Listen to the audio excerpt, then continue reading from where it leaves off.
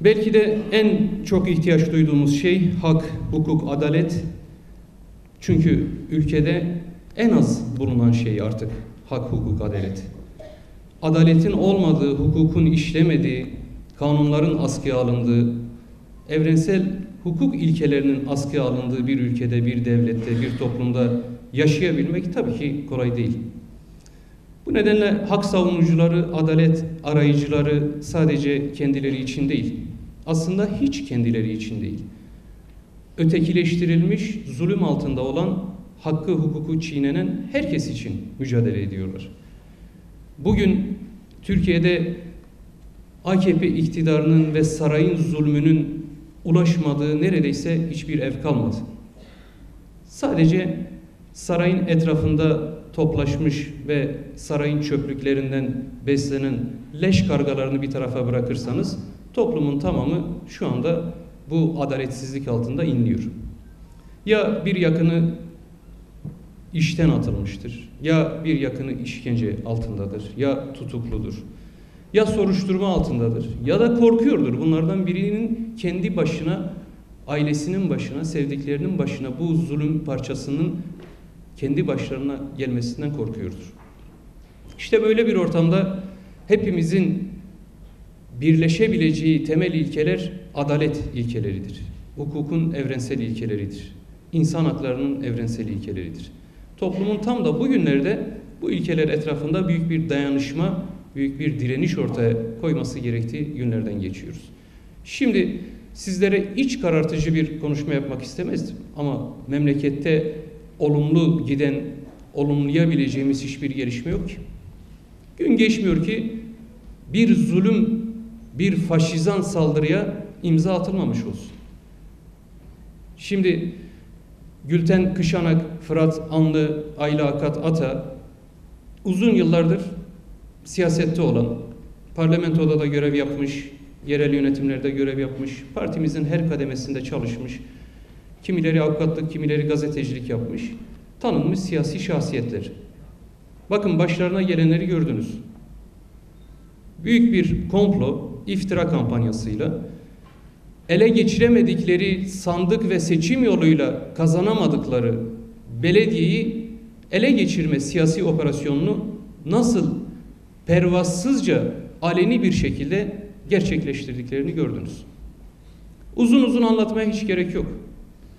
Tayyip Erdoğan çok uzun yıllardır siyasete girdiği İstanbul Belediyesi'ni bırakıp siyasete girdiği günden bu yana Diyarbakır'ın hayallerini kuruyor. Diyarbakır Belediyesi'ni, Diyarbakır'da oy çoğunluğunu yakalamak istiyor.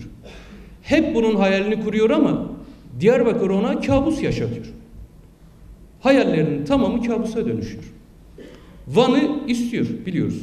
Van Belediyesi alınacak. Ne olursa olsun alınacak.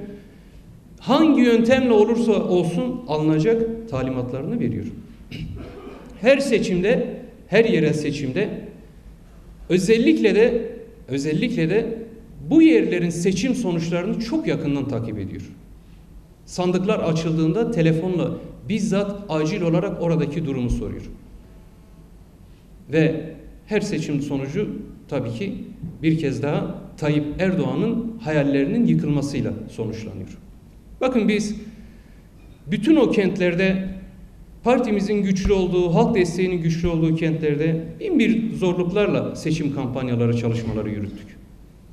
Biz seçim bildirisi dağıttık, onlar para dağıttılar. Bizim gönüllü arkadaşlarımızın elinde seçim beyannesi, beyannamesi ev ev iş yeri iş yeri dolaştılar. Onlar bavullarla nakit paralar taşıyıp oralara büyük iş adamlarını uçaklarla oralara götürüp para dağıttılar. Tehdit ettiler. Sandığı satın almaya çalıştılar. Seçim kurullarını satın almaya çalıştılar. Müşahitlere baskı yaptılar.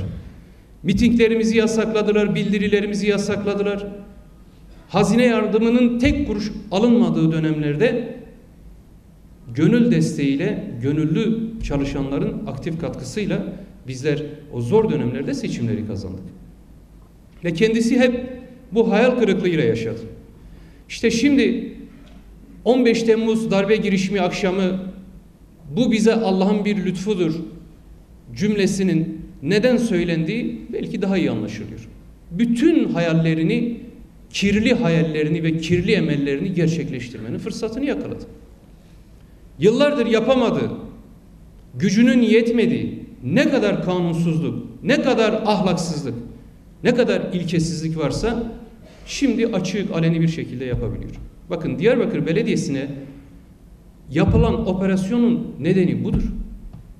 Yoksa belediyelerimizde müfettişlerin sabit bir odası vardır. Bakın her belediyede müfettişler yıllık denetim yaparlar ve geldiklerinde çalışabilecekleri geçici bir oda tahsis edilir.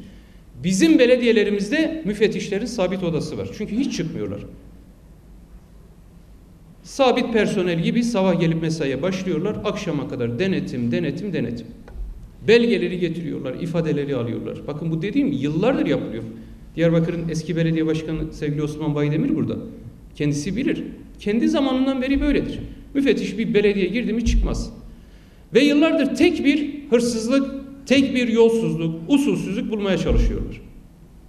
Sizce, sizce değerli kardeşlerim, bir slogan attı diye 15 yaşındaki bir çocuğu yaka paça tutuklayıp içeri atan yargı, belediyelerden bir tek lira demir para olarak bir lira dağa gitmiş olsaydı şu ana kadar savcıya intikal etmez miydi? Bunu belgelemiş olsalardı şu müfettişler o belediye başkanı çoktan yardım yataklıktan tutuklanmış olmaz mıydı? Bakın 99-2016 bu süre zarfında tek bir belediyemizin kasasından ne dağa, ne bayıra, ne şuraya, ne buraya. Asla tek bir kuruş para gitmemiştir. Gitmesinin imkanı yoktur. Resmi bütçedir ya. Ankara'dan para gelir, nereye harcanacağı, nereye harcanması gerektiği bellidir. Harcanan her kuruşun da belgesi olmak zorundadır. Yani bunlar PKK'ye para verip karşılığında belge mi alıyorlar oraya koyuyorlar? Açı böyle mi kapatıyorlar? Böyle saçmalık mı olur ya?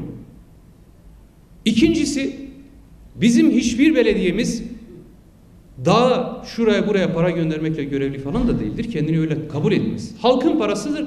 Halka hizmet için kullanılır.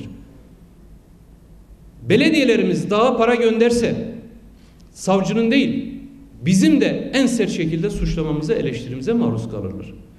O para o şehre, o kente harcanmak içindir. Halkın parasıdır. Yani her açıdan partimizin işleyişi açısından da asla kabul edeceğimiz bir şey değil. Yargısal hukuk mekanizması açısından da kabul edeceğimiz bir şey değil. Peki bunlar utanmadan, sıkılmadan belediyelerimiz efendim daha sürekli yardım gönderdiler, para gönderdiler yalanını burada sallarken savcılar peki bu iddiada bulunmuş mu diye bakıyoruz. Yok. Belediye iş başkanlarımız Fırat Anlı ve Gülten Kışan'a sorulan sorulara bakıyorsunuz. Böyle bir iddia da yok. Peki havuz medyanızda, lağım medyanızda bunların bu yalanları bu şekilde iftiraları kampanyaya dönüşür, dönüştürürken hiç mi utanmanız, sıkılmanız yok ya? Bir başbakan olarak hiç mi utanıp sıkılmıyoruz? Ya çık açıkça de ki biz seçimle sizden alamıyoruz. Hırsızlıkla alıştığımız yöntemle, gasp yöntemiyle belediyeye el koyuyoruz. Kayyum atayacağız. Bunu söyleyin. Bak bunu söyleyin bu daha dürüstçe olur. Bu daha dürüstçe mertçe olur.